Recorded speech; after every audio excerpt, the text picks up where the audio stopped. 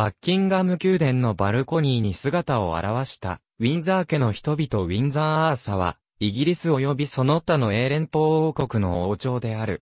1901年、ザクセンコーブルク豪竹は、ビクトリア女王とザクセンコーブルク豪太公子、アルバートの着男である国王エドワード7世の王位継承により、ハノーバーアッサをイギリスの君主に引き継いだ。1917年、第一次世界大戦中のグレートブリテン及び、アイルランド連合王国での反ドイツ感情のために、王室の名前を、ドイツ語の英語読みのザクセンコーブルク豪竹から、英語のウィンザー家に改名した。それ以降、ウィンザー家は、ジョージ5世、エドワード8世、ジョージ6世、エリザベス2世の4人の君主が在位してきた。現在の家長は16の主権国家の君主である。イギリス、カナダ、オーストラリア、ニュージーランド、ジャマイカ、バルバドス、バハマ、グレナダ、パプアニューギニア、ソロモン諸島、ツバル、セントルシア、セントビンセントグレナディーン、ベリーズ、アンティグアバーブーダ、セントクリストファーネービスである。これらの各国の君主制に加えて、3つの王室属領、14のイギリス海外領土、及び2つのニュージーランドの自由連合がある。ウィンザー家の元の加盟は、サクスコバーグ豪竹といった。これは、ビクトリア女王の夫、アルバートの加盟であった。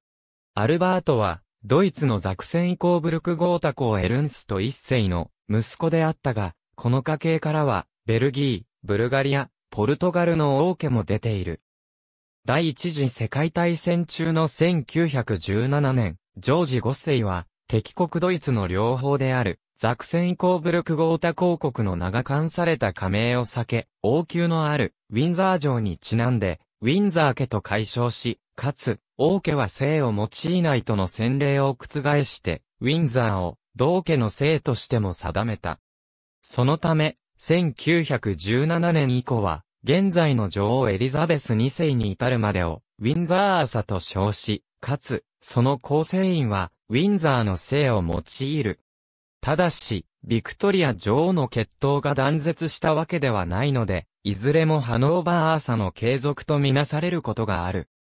ハノーバーアーサ、以来代々の王位継承者の配偶者は、ドイツ人やドイツ系の王族が迎えられることが多かったが、エドワード8世がアメリカ人女性オリス・シンプソンとの結婚問題から退位し、代わって王位に就いたジョージ6世の日エリザベスは、グレートブリテン王国成立以降で、初の同国出身の王妃となった。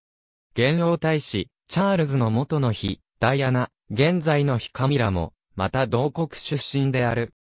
なお、1960年にエリザベス2世と夫、フィリップ・マウントバッテン公の間に生まれるこの姓を、マウントバッテン・ウィンザーとする数密院令が発せられた。もっとも、加盟が変更されたわけではないため、現状を前提とすれば、チャールズ王太子が即位してもその加盟は、ウィンザーのままであり、聖のマウントバッテン・ウィンザーとは、ズレが生じることとなる。1917年に加盟を、ウィンザー家と解消。ありがとうございます。